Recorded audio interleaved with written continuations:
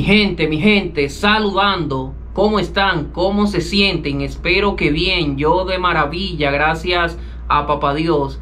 Eh, les pido que saquen un segundito ahora mismo de su valioso y apreciado tiempo y le den me gusta a este video. Saquen un segundito y denle me gusta aquí debajo, eh, que se lo agradezco muchísimo.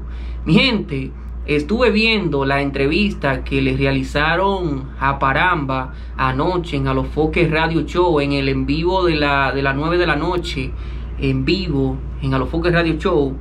Eh, resulta que a Paramba eh, lo trataron como una M. A Paramba en esa entrevista eh, lo humillaron todos ahí. Se comportaron con él de una manera desagradable para que estén claros lo humillaron al 100%. Y ustedes saben por qué pasó esto.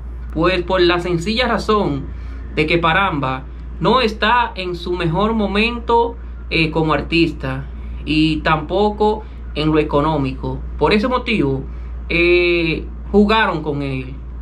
le dijeron un sinnúmero de cosas en su cara eh, de una manera tan fea que yo decía, pero ven acá, o sea, eh, él es el invitado y no lo respetaron. Por ese motivo, Paramba e hizo un en vivo en su cuenta de Instagram diciendo un sinnúmero de cosas que él se sintió mal en esa entrevista, eh, diciéndole tantas cosas y tratándolo así. Dice Paramba que no lo llamen para entrevistas, porque ahora lo llaman para sacar beneficio de esta situación que está pasando Paramba con su pareja o es pareja ya. Ahora sí lo llaman. ¿Por qué no lo llaman?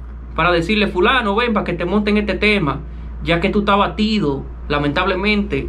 No lo llaman para eso, lo llaman para ridiculizarlo en frente de, más, de, más de 100 mil personas. Eh, por aquí les estaré mostrando eh, la, la esposa o es, o es esposa o es pareja de, de, de Paramba, véanla por ahí.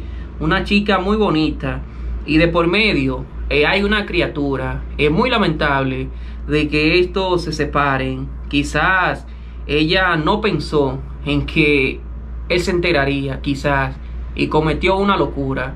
Dejar una relación donde ya hay un, un bebé, una criatura en medio, eh, da mucha pena. Yo sé, yo siento que Paramba aún la quiere, pero él dice que él no perdona eso que ella le hizo. Ojalá que, vuelvan y que arreglen todo esto, porque en internet eh, se están haciendo eco de esto, en muchos artistas eh, burlándose de la situación, pero ahorita eh, viene Paramba y comete una locura en contra de ella, y el malo es Paramba, para que estén claros. porque la gente lo enchincha, no, que la mujer tuya está con fulano, que te que estuve con tu mujer y por ahí se va la vaina. Y ojalá que no pase nada malo y que, y que Paramba eh, sepa manejar esta, esta situación, esta triste situación. Eh, mi gente, sobre Santiago Matías y Chari, la esposa de este, la madre de su hijo, pues la Chari como que se ha notado últimamente un poco eh, molesta con Santiago Matías, ya que este eh, por ejemplo, llega a la casa, se conecta a un teléfono en TikTok, eh, siempre vive ocupado y como que no le dedica tiempo a esta. Pues veamos estos videitos por aquí eh, que se han hecho virales. Y dice Santiago Matías que va a alquilar un apartamento simplemente para hacer TikTok, ya que a ella le molesta. Y una cosa, he visto muchísimos comentarios que así como Santiago Matías se burló de Paramba, de la situación por la que éste está pasando, asimismo le podría pasar a Santiago de que la Chari coja su maleta y se le vaya. Porque una cosa, eh, aunque Santiago Matías eh, sea el número uno, que tenga mucho dinero, que esto, que el otro, si ella dijo me voy, no quiero estar contigo, se jodió porque por lo que uno ve es que Santiago Matías eh, no le está dedicando tiempo eh, a su pareja.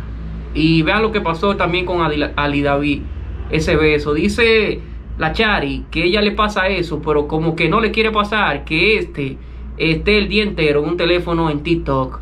Eh, veamos los videitos por aquí. y voy a rentar un apartamento para hacer TikTok y no vengo. Cuando yo vaya a aprender TikTok, cojo para allá y, y, vengo a dormir para acá. Y ya no hago más nada en la vida, loco. Ah, tú me conoces, yo soy un loco. Ya me dañaste el día. Me dañaste el día. Drake no puede verse débil en TikTok. Drake es lo más grande que hay en TikTok y tú me haces ver débil, mano. Yo te dejo que tú te beses con alguien la Mi hermano, corre rápido. Ahora tú me quieres en la calle a mí. Yo no, yo le he dicho eso. Para no, para no tenerme en TikTok. porque tú eres una, una demagoga. Tú vas a TikTok me dices ella es mi, mi, hermana, ella es la criada. Yo no soy mi hermana ni criada, así, así que no ¿Y si yo te veo así? ¿Eh? ¿Y si yo te veo así, qué hago? Ah, pues tú me ves así. No, porque... Lo mío tiene que respetar. Si yo, si yo quiero ser un unicornio, tú tienes que dejarme ser un unicornio.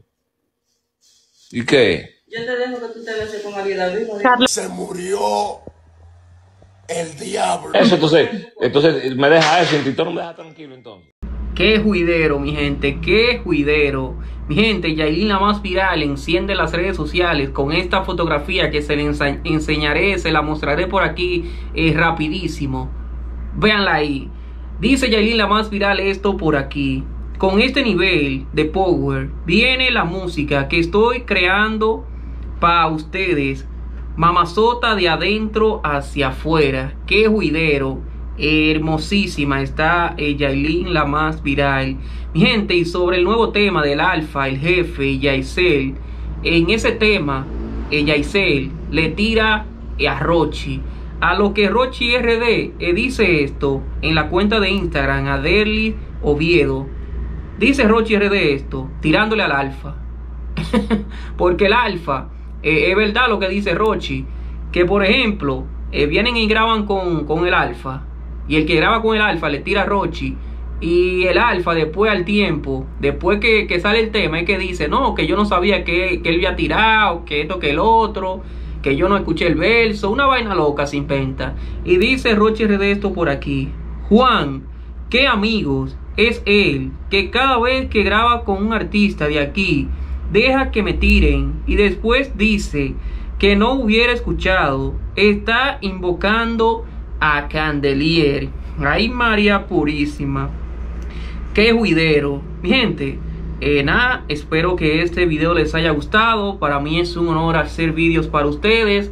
Eh, no olviden suscribirse, activar la campanita de notificaciones, darle me gusta y comentar. Así que hablamos ahorita.